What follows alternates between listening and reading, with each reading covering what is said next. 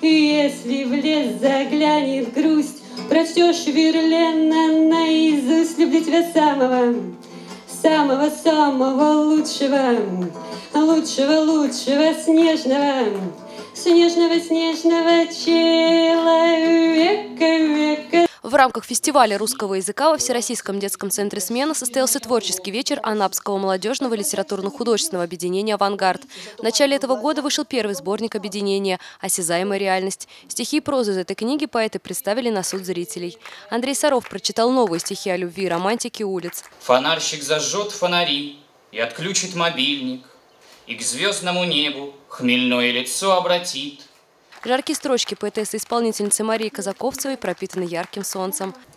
Очистили солнце от полистой цедры, Подставив стекать апельсиновым соком. Под акустическую гитару она исполнила песню «Звезда» на свои стихи. Сбегаю я по звездам, как по осколкам снам. Туман пушистый возит над городом.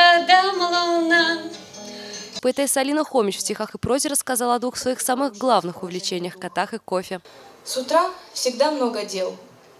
Взять за шкирку кота, притащить его на второй этаж. В конце литературной встречи все желающие могли задать свои вопросы. Больше всего сменцев интересовало, как стать поэтом и развить в себе эти качества.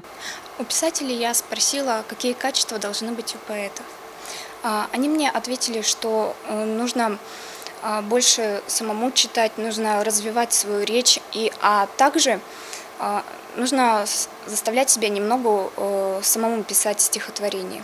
Руководитель объединения Ольга Журавлева отметила, что поэт – это тяжелая работа над собой и над своим словом. Вы знаете, ребята очень понравились. Очень вдумчивые лица, очень внимательно слушали. Даже когда мы уже завершили наше выступление, мы э, еще раз по второму кругу прошли, ну, уже читали новые стихи, то есть ребята не уходили почти до конца. На зрителей встреча произвела особое впечатление. Некоторые по приезду решили вступить в литературное объединение своего города. То, что только что прочитали, и то, что песни спели, мне очень понравилось. Я такого еще никогда не видела. Я вообще не видела таких сообществ. Я не слышала, но мне это очень заинтересовало.